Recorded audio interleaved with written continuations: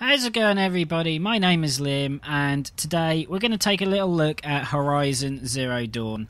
Now, before we get started, just so you all know, there's no story spoilers or anything like that. I'm just showing you a bit of the gameplay, some of the mechanics, and some of the things that make this game really cool. So you haven't got to worry about spoilers here at all. So I'm about, I think, maybe 10 hours in or something like that. So you know, some of the people who are only just starting to play this will be seeing things they haven't seen yet. So, trying to keep it spoiler free as much as I can.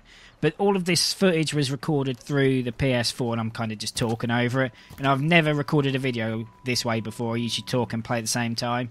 So, I mean, we'll just have to see how it goes, I guess. But As you can see here, like, the, a really big part of this game is crafting.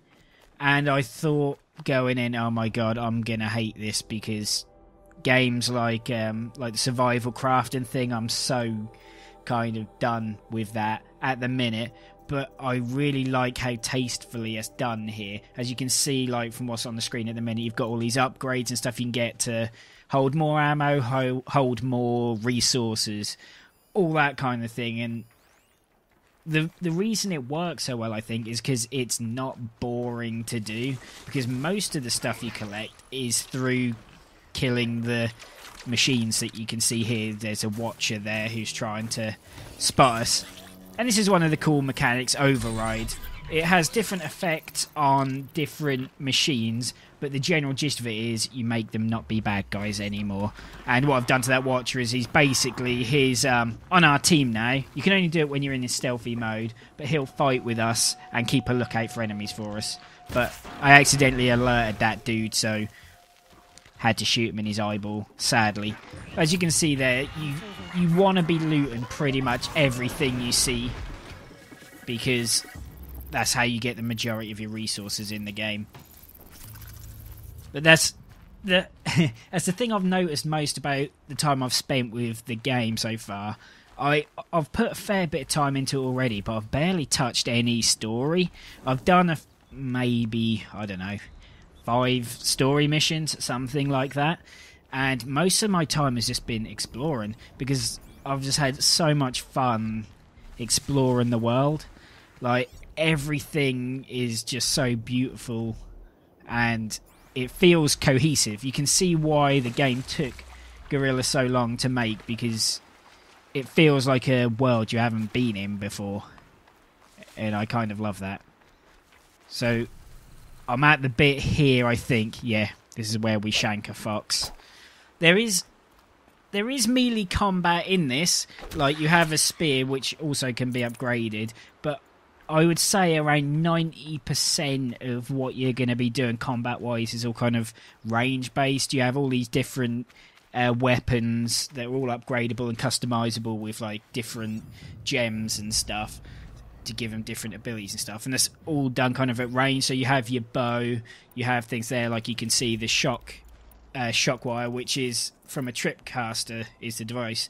And you can see I'm going to set a trap here for these two sawtooths where I just put a basically electric fence and then I'm going to try and lure him away. Because something you find quite early on is the the game isn't it's not hard per se but it punishes it punishes stupidity is how I'd say it. Like these guys here they will wreck you if you're if you're not careful. So like these are kind of some of the sort of mid-range mid-range machines and if you're not if you're not careful and you make mistakes, they will take you down. You can't you can get away with like there's plenty of healing items and that kind of thing, and you can always craft more, but you don't want to be caught short without supplies of that sort of stuff. But as you see here, I'm trying to pull him towards the the trip wire, which I did there. And then tried to go for a jump and attack and missed, but we got the critical attack in, which is one of the upgradable skills. And now I've pissed him off, so he's after me. Sadly. And there, I did the very intelligent thing of trying to shoot him with a piece of rope. And I, and I messed up. But something, one of the cool things you'll see, as you can see here, you have like different types of um, arrows and stuff. And you can slow down time to help with you, actually, which is great for people like me who's just useless with um, with aiming. Like um, especially on console games.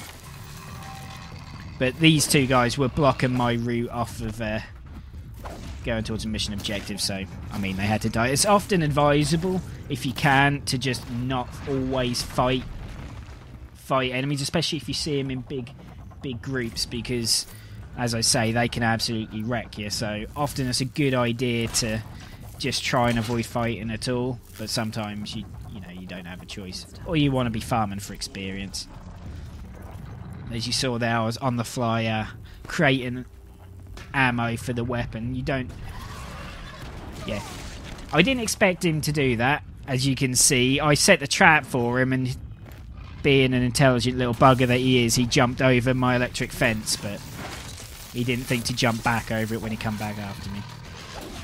As I was saying, yeah, you can craft ammo for your weapons on the fly, so as long as you always have plenty of uh, plenty of supplies like your wood and wire and all that kind of stuff, then you're pretty much golden. Like you'll never find yourself caught short in the middle of a battle with no ammo, which is good. And you can upgrade how much ammo you can carry, all that kind of stuff. As you can see, can't aim for shit, which is embarrassing.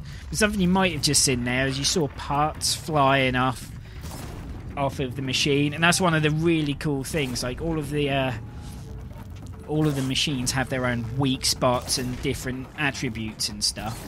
This guy's weak to fire, so it's doing constant damage and melting his armor. So I'm just... He, for some reason, he was just eyeing me up and not charging towards me. I don't know if it's because he could see the shock wire and didn't know how to get to me. But he just kind of stood there, so I sort of shot him from a distance. Yeah, they all have their own weaknesses, which you can scan with R3 to have a look at the different um, different spots on them and that'll show their weaknesses. There's that like yellow thing on the back on its ass there, which you can shoot, and that'll do a bit of extra damage and it'll help you drop them just a little bit quicker. There you go. We finished him off, and I got extra experience. You see there for getting a burn and kill. And you get a trophy, I think, for killing them so many enemies from what they're weak to. But there's something kind of satisfying about about the collecting systems in this. As you see there, I was holding up on the D-pad. That was to replenish your stamina. You can collect these herbs, the ones I'm picking up now, to fill a medicine pouch, and you can just hold up to um, heal. That's the green bar underneath my health shows you how much like medicine you have on you. And you can just use that to heal on the fly. As well as you can pick up um, health potions, which you can buy and buying craft and stuff as well. Yeah, that was the, this is the story mission objective, so I thought I'll leave that and we'll go off in the other direction because you get rewarded for just going off and exploring.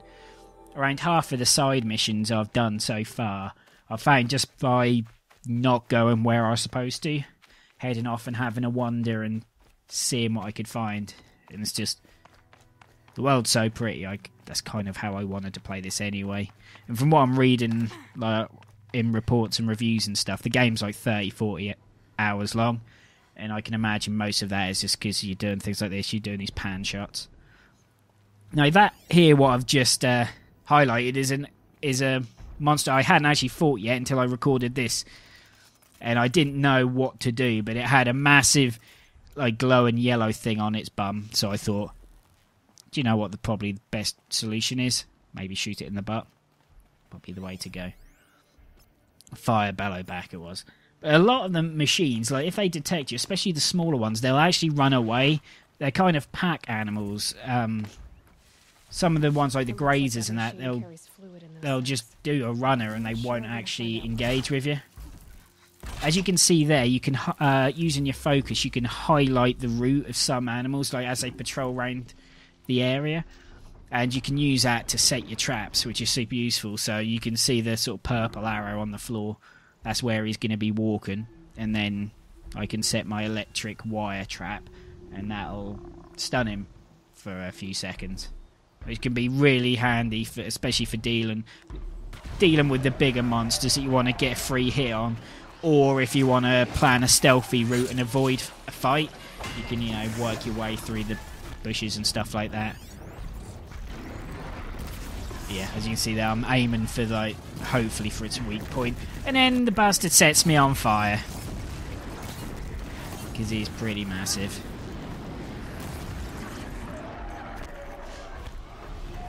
So this is, like I said, this is the first time I fought him. But as you saw, I managed to set fire to his tank, which was carrying fluid in its back, and it took off like a massive chunk of its health.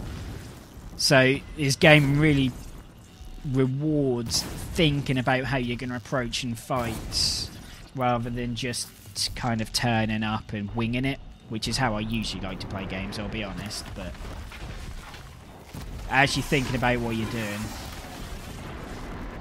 As I say, you get plenty of wind up for their attacks and stuff, so as long as you think about what you're doing, it's, I think it's quite forgiving, but it definitely punishes mistakes. So there, there's no, um, this wasn't part of a mission or anything. It's just often when you fight kind of the bigger creatures, they'll drop loot which will be really useful for crafting your upgrades that you need. Which is kind of great. Yeah, I don't... I'm not intending on doing like a, a review or anything like that. I don't know if I'll do any more content past this video for this game. I just kind of wanted to show off a little bit of how awesome it is, really, because I've been having so much fun with it so far. We've been really spoiled this year for games from start to fin. You know, Resi and Yakuza and and this. Just it's been a fantastic year so far for games. But there you go. That was just a little peek at Horizon Zero Dawn. Hope you enjoyed the video. Thank you for watching. My name's Lim, and I'll see you guys next time.